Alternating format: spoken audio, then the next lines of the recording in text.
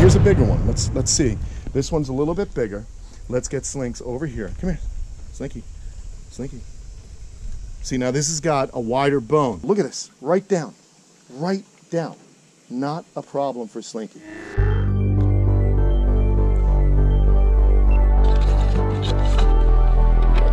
Hey, what's going on? Good morning, everybody. Ken here. Beautiful morning, isn't it? And uh, today is the first day of the rest of yours and mine and everyone else's life. And today is also the first time we're going to be doing an Ask Kamp Kenan on Thursday. So welcome to the new day. Uh, new day, new world. no, same world, but uh, here we go. So today's question comes from Bob Lambert, Lambert, Lambert, and Bob asks, Kenan, how big is too big a prey item or food item to feed your monitor lizard Slinky? Well, pretty good uh, video today because turns out we got some pretty big items to feed Slinks. Um, we're of course talking about some chicken that I was able to uh, procure from my friends at Busch Wildlife. I'm gonna get you guys set up right here. He can smell the chicken. Can you smell what the chicken is? It's going to be good. All right, so uh, first thing about their anatomy. Now, uh, good old, he smells the chicken on my hands, so it's uh, something I don't want to get bit doing. But what we're going to do is show you guys some big pieces of chicken. Now, this has got bone in it. It's breast with the bone. Slinky, Slinky, come here. Slinky. There it is. There it is. You see how excited he gets? He loves to eat chicken. Now, Similar to snakes, these lizards also have uh, flexible jaws, but the jaws are flexible at the bases here, where they attach at the joint, not in the front in the case of snakes. And so that allows the, the back of their mouth to open up really wide to accommodate food of a larger size. Now, they don't normally, or he doesn't all the time get chicken like this, but when it's available, I feed it to him. And since it has the bone in it, I'm happy to do that. Come on, Slinks.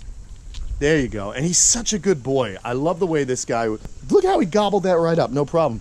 I'm also gonna do a pretty heavy, hardcore feeding. I'm gonna really load this sucker up. I wanna make sure that he's fat and happy, uh, and that's what we're gonna do. Come on. Whoa, oh, I missed that one. Uh, one of the things you don't wanna do is get bit by Slinky. That's no fun. We definitely don't wanna take a bite from this animal.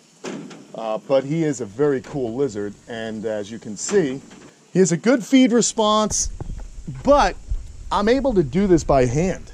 Come here, Slinks. Slinky. Come on, nice and easy. There you go. See how nice and easy it is? And watch again. You see how the jaws spread out?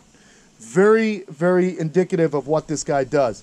So I like to feed them um, prey that might be just a little bit larger than his jaws uh, for the base of his jaw. Obviously, look at the neck. It's similar to a snake. You don't want to feed a snake anything larger than the biggest part of the snake. But with the with slinks, I like to go a little bit thicker, uh, the thickness of the neck, because I really think that's a safe way to, to kind of manage it. Now, they can eat bigger, and they digest bone and uh, muscle and everything. They're very, very similar to snakes in that regard, in which they can really uh, digest very well um, the food items, the prey items. These guys. Now here's a bigger one. Let's let's see. This one's a little bit bigger. Let's get Slinks over here. Come here, Slinky, Slinky. See now this has got a wider bone, okay?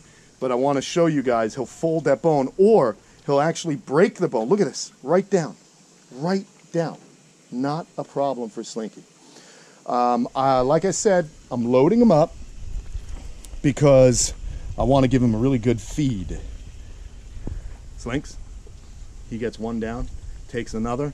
So this will be a pretty good meal. He won't need to eat for, I'm going to probably lay off him for about a week and let him really just digest this meal. See that? And that's also something that monitor lizards will do. You've seen Komodo dragons on documentaries. They can eat deer, they'll eat a whole deer leg, eat a whole monkey, stuff it right down um, and they gorge themselves because they don't know when they'll get another meal or kill. Hey guys, Tom here. Just want to interrupt this video to thank these amazing, amazing supporters of ours. Thank you so much, guys, for always being there for us. A special shout out this week goes to Ross Parnagian. You guys are the best. Thank you so much for being on Patreon. Now, back to Kenan. Um, so this one, you can see, he might have to rub it. And that way he'll be able to break the bone and swallow it. Look, I think he should be able to get this. And those digestive enzymes will have no problem digesting his food. See, he's going to try and rub it. I wish he would rub it on the rock. That's going to work better for him. But here he goes. He just kind of thrusts it back, pushes his head forward, and thrusts back the food. Once it gets past that one part of the jaw, it'll go right down. He's trying to manipulate it. And I'm not worried at all, guys.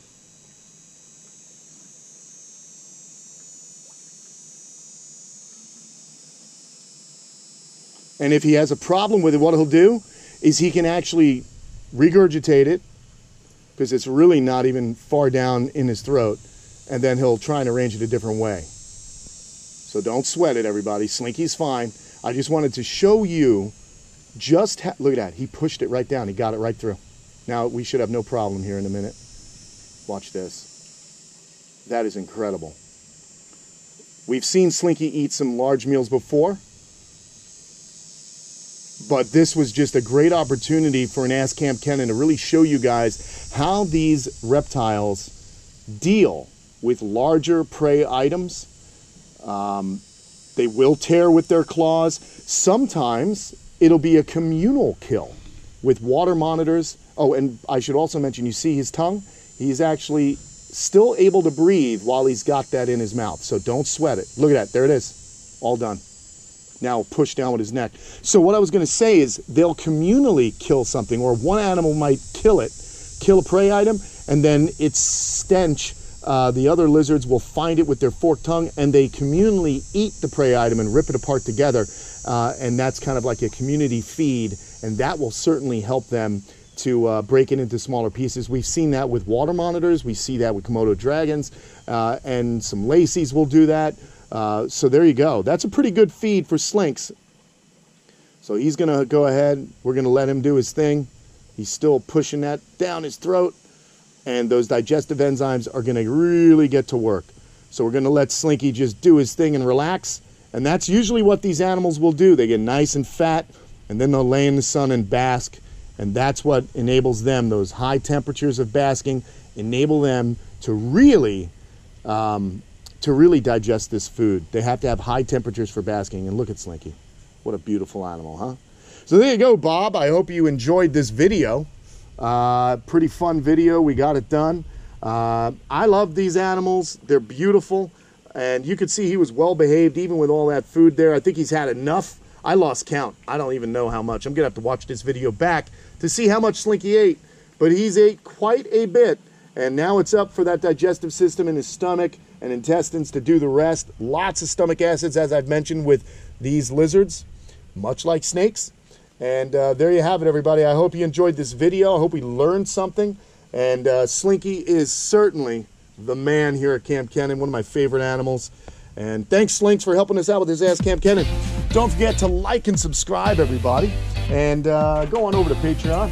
Thanks so much for your support. Bob, thank you. And uh, there you have it. Another fun video where we learned something about some amazing animals to see how they're adapted to get along in the world without forks and knives. All right, man. I got to get breakfast myself. Thanks, everybody. We'll see you again soon. Bye.